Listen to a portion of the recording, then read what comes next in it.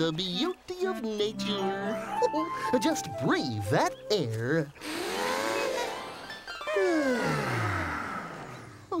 Barney, we're all feeling kind of hungry. Is this a good time to eat? Oh, it's a perfect time to eat. Did you bring some snacks and your musket? Uh-huh. I've got my musket right here. See? Oh, great! Attention, happy campers! It's time to use your mess kits! Oh, time to use my mess kit! Uh-huh. All right! oh, when it comes to mess, I don't mess around! Yeah, I'm the master of messes! Here a mess, there a mess, everywhere a mess, mess! BJ? All right! Oh, this is great! Did I do something wrong? BJ, when you go camping, a mess kit is plates and forks and spoons to eat with. Like these things. See?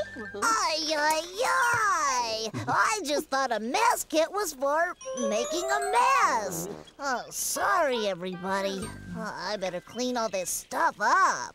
That's okay. We'll help you, BJ. You will? Sure, and if we all help, things will be cleaned up in no time. Right, Barney? Right!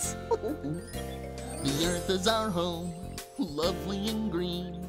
Let's keep it tidy, you know what that means. If you make it messy, please make it clean. Pick up your part of the world.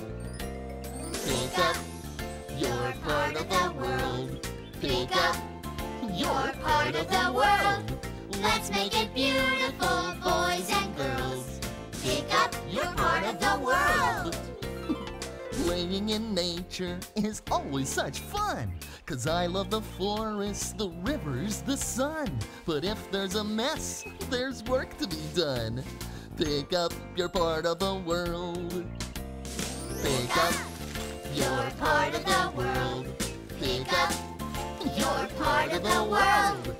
Let's make it beautiful, boys and girls. Pick up your part of the world. Here on the planet, we don't live alone. So always be careful wherever you roam. The forest you visit is somebody's home.